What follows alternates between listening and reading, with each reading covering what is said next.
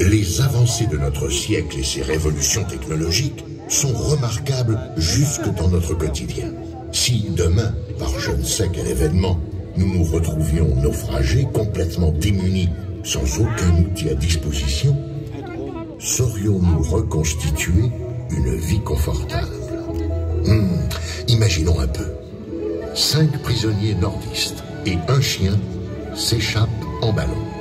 Pris par une tempête, ils échouent sur une île déserte en plein océan Pacifique. Cette île, qu'ils baptiseront Lincoln, offre des ressources admirables et tout à fait inattendues.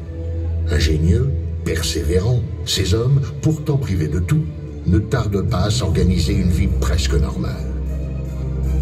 Mais ils vont faire face à plusieurs périls et à d'étranges phénomènes. Une série de faits inexplicables. Des coïncidences troublantes les obligent à croire en la présence d'une puissance mystérieuse.